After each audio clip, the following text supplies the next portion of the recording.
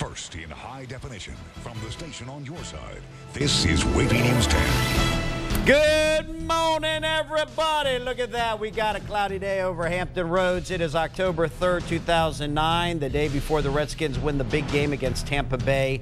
We've got commotion in the ocean. My dear friend Corey Mayo's here to talk all about that. It is a great fundraiser to support the Virginia Aquarium and Marine Science Center, and we are having a big fundraiser in a couple of weeks. Going to tell you how you can participate. It's going to be a great time. Help the local museum and have a great time along the way. And also our dear uh, the Nobleman uh, Oktoberfest. That's going on today out there at Oceana. So Yeah. we want everyone to go out there. A lot going on today. I'm Making telling strides. you, if you aren't living in Hampton Roads, then you ain't living.